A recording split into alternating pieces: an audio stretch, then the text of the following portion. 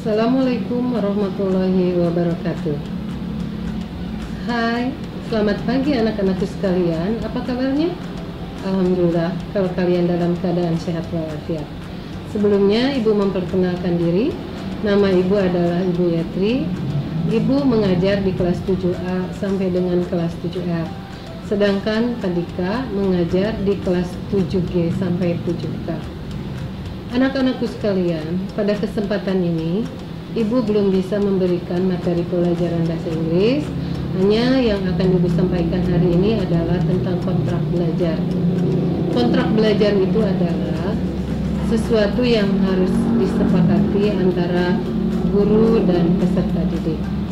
Maksudnya adalah siswa di sini harus mengetahui apa-apa saja yang harus dia miliki atau dia pelajari ketika dia di, berada di SMP kelas 7 semester 1 ini. Dan untuk itu, Ibu harapkan kalian bisa mengikutinya dengan baik agar kalian paham betul apa saja yang perlu kalian ketahui, apa saja yang perlu kalian pelajari ketika kalian belajar di SMP kelas 7 semester 1 ini. Dan Ibu harap kalian lebih rajin lagi belajar sehingga target-target kurikulum yang akan Ibu sampaikan saat ini bisa tercapai sesuai dengan harapan. Amin ya robbal alamin.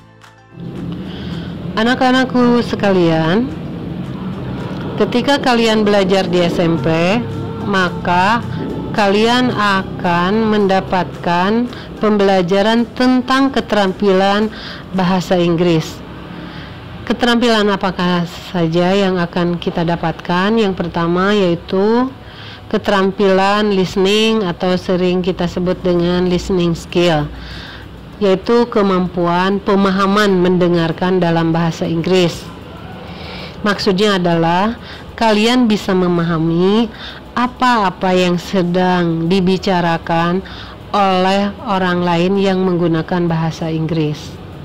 Yang kedua adalah speaking skill. Maksudnya adalah keterampilan, kemampuan berbicara dalam bahasa Inggris. Artinya, kalian bisa bisa menggunakan bahasa Inggris baik itu secara individu maupun secara berkelompok. Contohnya dalam bentuk role play maka di sana akan kelihatan bagaimana kalian bisa mengucapkan kata-kata dalam bahasa Inggris dengan pronunciation yang benar ataupun dengan intonasi yang benar. Kemudian yang ketiga adalah reading skill. Reading skill itu adalah keterampilan, kemampuan memahami teks bahasa Inggris. Maksudnya adalah Ketika kalian mendapatkan sebuah teks dalam bahasa Inggris, maka kalian mampu untuk memahami teks tersebut. Contohnya, misalnya kalian mendapatkan sebuah teks dari guru. Kemudian guru memberikan satu pertanyaan berdasarkan teks yang tadi. Ketika kamu bisa memahami atau bisa menjawab pertanyaan yang diberikan guru, maka itu artinya bahwa kalian sudah paham dengan teks yang diberikan tersebut. Yang keempat adalah writing skill. Writing skill itu adalah keterampilan atau kemampuan menulis dalam bahasa Inggris. Maksudnya adalah kalian mampu membuat tulisan baik itu pendek atau panjang dengan menggunakan bahasa Inggris. Berikutnya adalah tentang kompetensi dasar apa sajakah yang akan dipelajari di tingkat SMP ini. Ada dua kompetensi, yaitu kompetensi dasar pengetahuan dan kompetensi dasar keterampilan.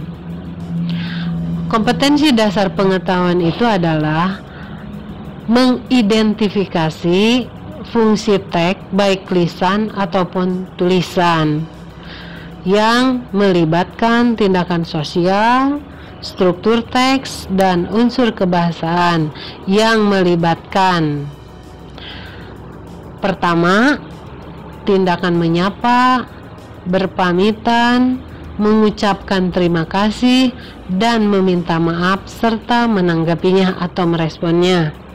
Yang kedua adalah mengidentifikasi fungsi teks baik lisan ataupun tulisan yang melibatkan tindakan memberi dan meminta informasi terkait jati diri pendek dan sederhana. Dan unsur kebahasan yang akan kita pelajari adalah pronouns. Kemudian yang ketiga adalah mengidentifikasi fungsi teks baik lisan dan tulis yang melibatkan tindakan memberi dan meminta informasi terkait nama hari, bulan, nama waktu dalam hari, waktu dalam bentuk angka, tanggal, dan tahun. Unsur kebahasaan yang digunakan untuk kompetensi dasar ini adalah cardinal dan ordinal numbers.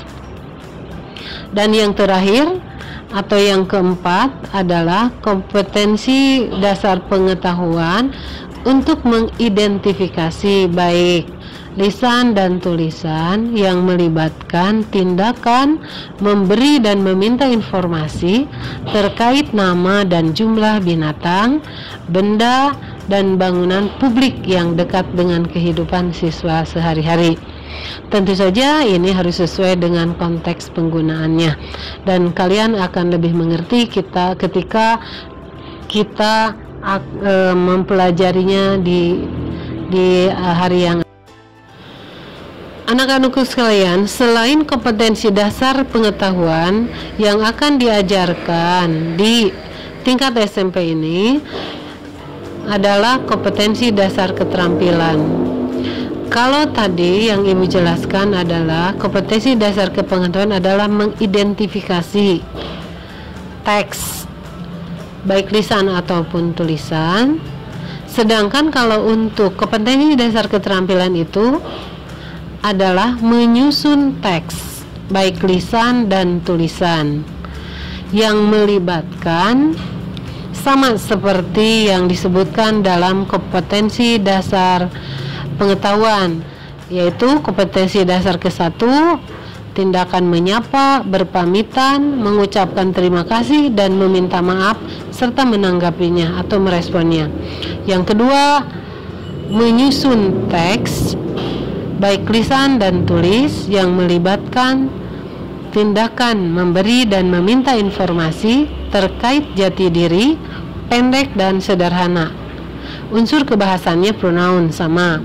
Kemudian yang ketiga, adalah menyusun teks baik tulis, baik lisan dan tulis yang melibatkan tindakan memberi dan meminta informasi terkait nama hari, bulan, nama waktu dalam hari, waktu dalam bentuk angka, tanggal dan tahun. Unsur kebahasaannya adalah cardinal dan ordinal numbers. Dan yang terakhir adalah kompetensi dasar ketampilannya adalah menyusun teks baik lisan dan tulisan yang melibatkan tindakan memberi dan meminta informasi terkait nama dan jumlah binatang, benda, dan bangunan publik yang dekat dengan kehidupan siswa sehari-hari.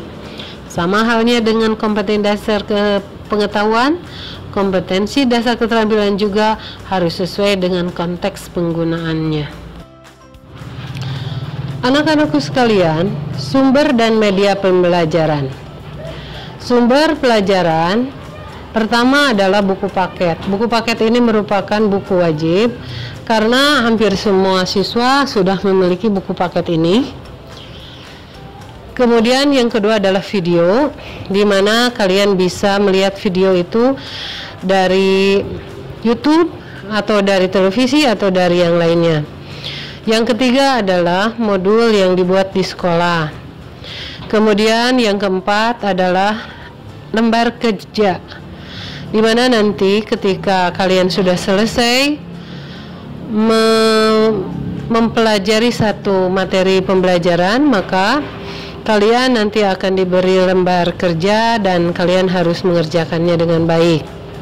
Sedangkan media pembelajaran yang akan digunakan di SMP 2 ini adalah pertama menggunakan Google Classroom, yang kedua adalah WhatsApp atau WA dan yang ketiga adalah Zoom.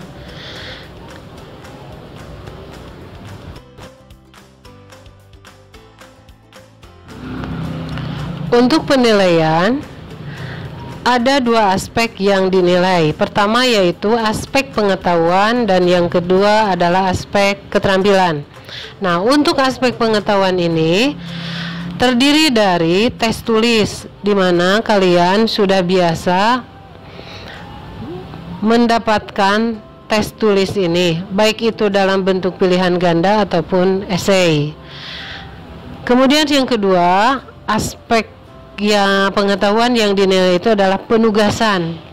Jadi setiap tugas yang kalian kumpulkan itu dipastikan akan dinilai. Kemudian yang ketiga adalah proses. Nah, untuk proses ini, maka kalian harus betul-betul menyiasatinya supaya ketika kamu dalam proses belajar mengajar meskipun dalam daring, maka kalian harus betul-betul aktif dalam mengikuti pembelajaran ini. Sedangkan untuk penilaian aspek keterampilan yang dinilai itu adalah pertama praktik. Contohnya misalnya ada empat keterampilan yang dipelajari di tingkat SMP ini. Maka jenis tag untuk praktik uh, listening skill maka nanti contohnya kalian akan diberikan sebuah video atau sebuah rekaman di mana kalian harus mendengarkan apa yang mereka bicarakan. Nanti kalian akan diberi pertanyaan-pertanyaan sesuai dengan apa yang mereka bicarakan. Kemudian yang kedua masih penilaian aspek keterampilan praktik yaitu ketika kalian harus presentasi di depan. Nah, kalian di sini harus berbicara dengan tentu saja dengan menggunakan bahasa Inggris. Baik itu secara individu ataupun secara berkelompok.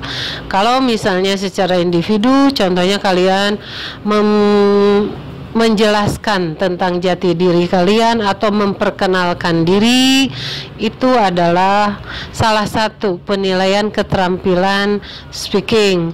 Kemudian kalau dalam bentuk kelompok misalnya kalian harus uh, menggunakan bahasa Inggris dalam bentuk role play atau drama.